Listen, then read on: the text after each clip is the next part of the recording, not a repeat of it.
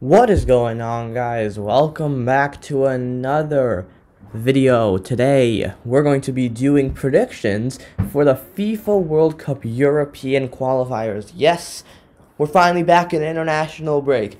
It's not the actual World Cup and it's not the actual Euros, but we got some FIFA World Cup qualifiers. It's going to be really jam-packed because we're going to be playing a bunch of games now during this international break. Then I think there's no more international games until the Euros.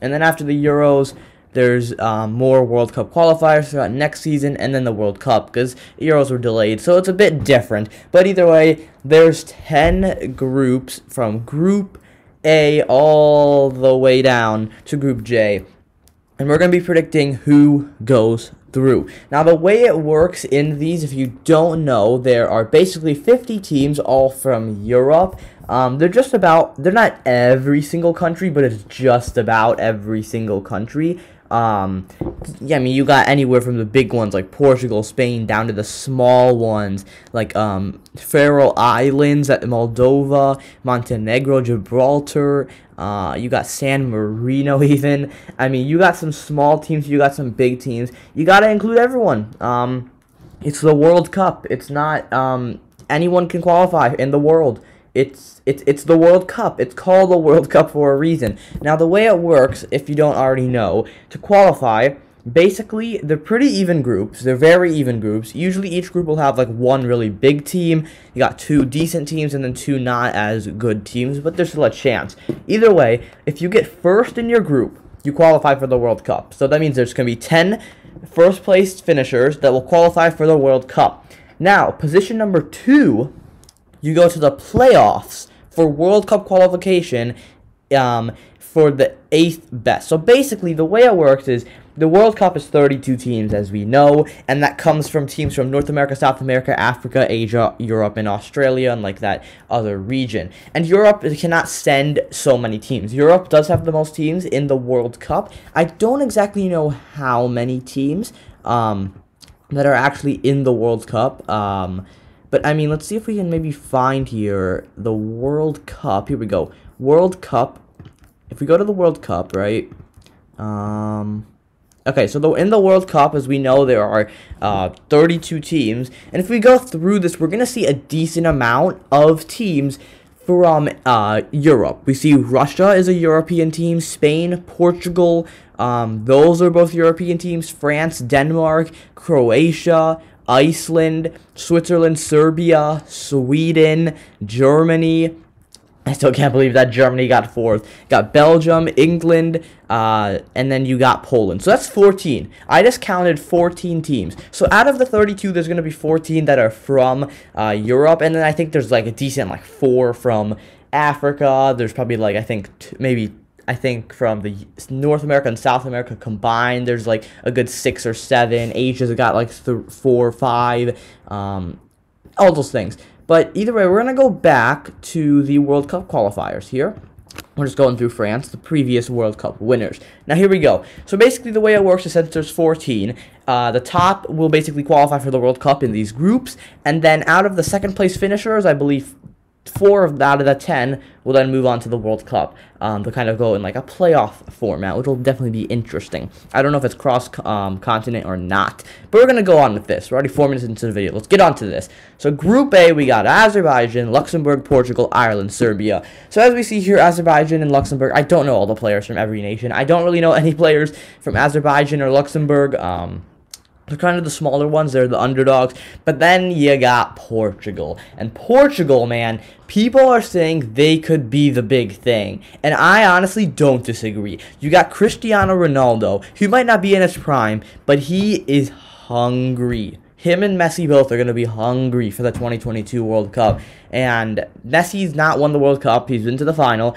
Uh, Portugal uh, never, I think the furthest Ronaldo's made it, maybe to the semifinals, I think, of the World Cup, but never to the final. But you got Cristiano Ronaldo. Then you got Joao Felix, who I think at the time of the World Cup he'll be 23, maybe 24. He can provide a lot in the attack. Then you got the all um, rising Bruno Fernandes on top of that.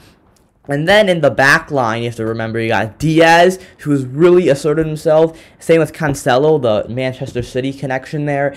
Uh, you got some good players all around, and you got a young group of players actually when you think about it all around. But then you also got like experience like Ronaldo. It's a really balanced group, and you gotta think they would be favorites for this group. You also got Ireland and Serbia, who people are probably saying, okay, they're probably the ones that are gonna try to fight for that second place. Because probably gonna think Portugal's gonna get first. Ireland's got some decent players. Um, Doherty, um, Matt Doherty is the first one that comes to mind. He went to Spurs from Wolves. Uh, you got a couple more. You got Adam Idah, I believe, or Idah. Um, he's one of the top ones. Uh, Serbia, they've got a little bit. You got um, uh, what's his name? The one for Fulham. Mitrovic, I believe. Yeah, Matic, who's a bit younger. I don't know every single player, but Ireland and Serbia, they got a couple good players, and they got a well-rounded squad. It's just about who's going to get the through. And I think Portugal will be getting first in this group. I don't see why they wouldn't. There might be an upset in here that I might choose, but not Portugal. Portugal will go through, and I think Serbia is going to get second, mainly because I think Serbia has a bit more experience, and as of late, I haven't followed so much international stuff, and I'm pretty sure Ireland are kind of on a slump. Now, going to the second group of 10, we got Group B. We got Georgia, got Greece, Kosovo, Spain, Sweden. So once again, you see like a powerhouse in Spain. You see two close contenders like Sweden and Greece, and then you see two smaller nations like Kosovo and Georgia. So you're probably thinking Georgia and Kosovo probably don't stand much of a chance here. I can't even name a player from them, so that kind of hurts. But then you got Spain. Um, you got some players on Spain who probably are going to be playing their last World Cup. Spain has a lot of players that are probably going to be playing like their last World Cup. You got Sergio Ramos in the back. You got Carvajal if you include him. You got uh, you also got young players like Nacho. You have um, De Gea in net. I don't know if he'll start, but uh, you got to think. I don't know if Kepa will. You got Alvaro Morata, who's probably going to be up top. You got Saul in the middle. Rodri could play in the middle. Um, you got a lot of players that could play in the middle. Even like Pedri, Fati, he'll be health. I he don't think I don't think he'll play an international break. I think Fati's coming back like right at the end of international break. Um, he's almost ready, which I'm happy for. Uh, you got Riqui Puig, you got Pedri, a lot from Barcelona. Got some youngsters, you got some older players. I think Spain will top this group. Second place between Sweden and Greece. Greece, uh, they're they're balanced. They're a balanced team. Sweden, on the other hand, though, they have standout players.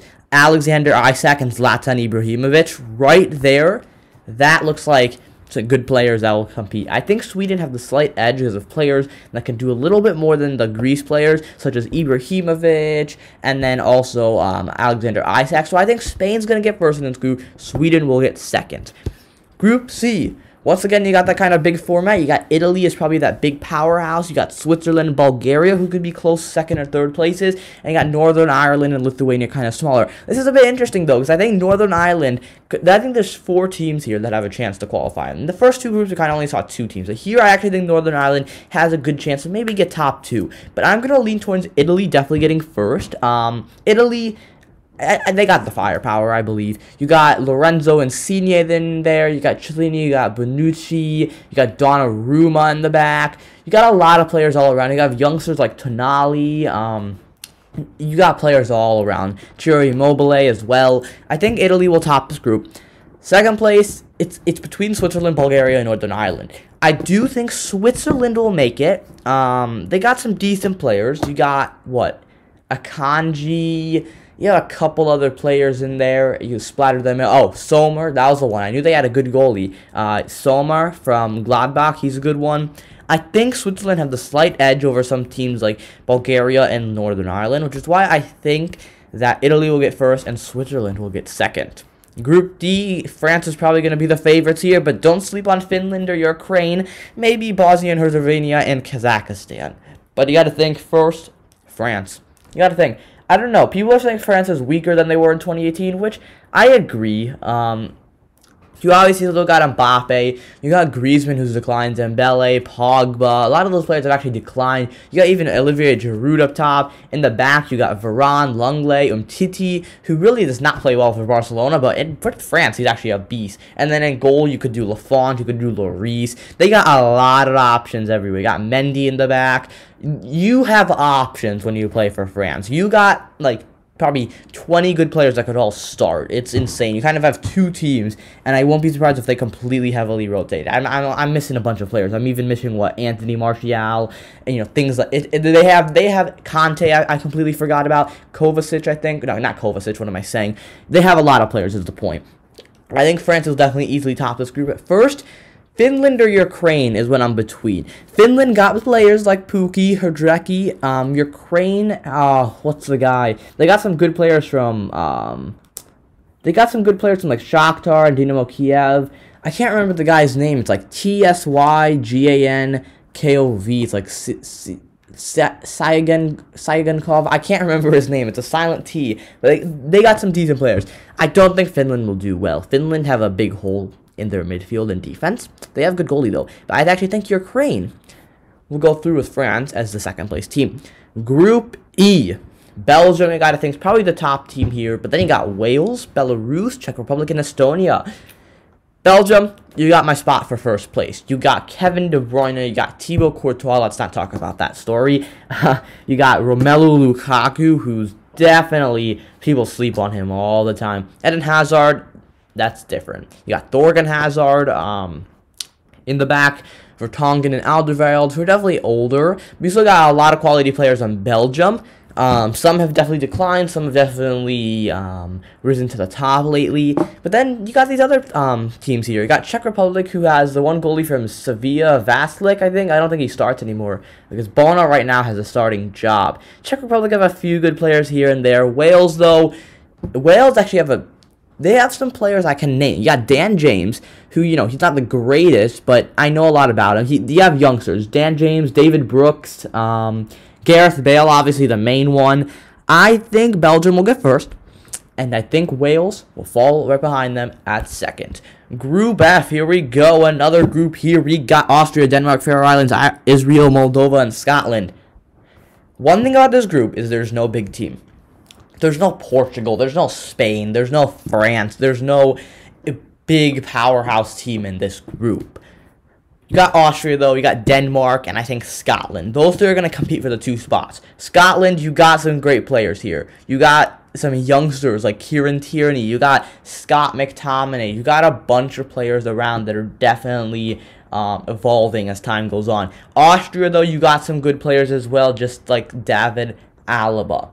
Denmark, can't sleep on them. They have veterans like Kasper Schmeichel. Um, it's it's it's tricky. Uh, it's tricky. I think Austria slightly have the upper hand in this one, and I think they'll get first in the group. Second is between Denmark and Scotland, and I'm going with the ones coming up from the north. Well, actually, Scotland and Denmark are both from the north, but I'm going with Scotland. Group G. Got Gibraltar, Latvia, Montenegro, Netherlands, Norway, Turkey. So you're looking here, Netherlands, Norway, Turkey. The last three there, probably the ones that stand out. I can't really name any players from Gibraltar and Latvia. I can actually name a player from Montenegro, um, Savic from uh, Atletico Madrid. But I don't think he's going to be enough. Um, you got Netherlands, Norway, Turkey. Now, so these teams are interesting. This is why. Netherlands, you got a very interesting team. De Jong, De Ligt.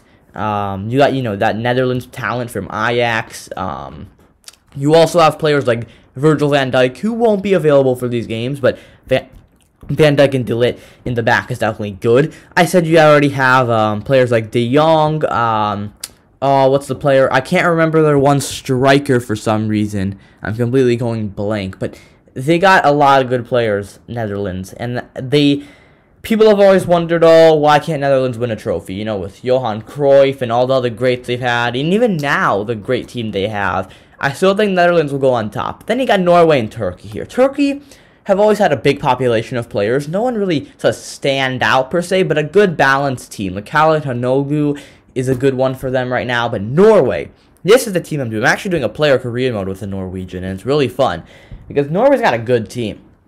They've got Erling Haaland, Odegaard, Steven Berg, Alexander Sørloth, they got a lot of players up top. Their defense is the problem. But with that attack, I actually think that attack it depends. That's probably one of the better attacks. Um, if you're just talking attacks wise, Norway probably might even have better than Netherlands. Um, but I think Norway are gonna go second in the group. I think they got a bright future ahead of them. If Haaland plays like he does for Dortmund, Who knows? I know Haaland scored nine goals in a Norway game on the under 20s, and that's how he announced himself. So we'll see. Maybe he'll announce himself here and they get top the group. Group H, interesting one. Croatia, Cyprus, Malta, Russia, Slovakia, Slovenia. Got a lot of flags here with um, white, blue, and red. That's for sure, four of them. Okay, Croatia's probably the ones that stand out. They made the World Cup final in 2018. Probably not expected, but now you gotta think, okay, okay, we cannot sleep on them. Luka Modric is obviously not as good as he used to be, but lately with Real Madrid, he's actually looked pretty good. You got players like Mandzukic and a few others all around. Kovacic is a good one in the midfield with Modric. Uh, Russia, um, yeah, Russia knocked out Spain in 2018. Spain's one of the teams I root for. I don't root for a particular team, but um, I root for a bunch of teams. I root for Spain, uh, Norway is actually one, USA, I just and Ireland, India if they ever make it. I root for a bunch of teams, I, especially Antarctica. You know, that's one of the good teams as well. Slovakia and Slovenia, they got their good share of players. Um, all around. I think Croatia tops this group, and I think Russia gets second. Okay, two more groups. Here we go. Group I, Albania, Andorra, England, Hungary, Poland, San Marino. If San Marino gets one point, if San Marino gets one point in this group, I don't know, man.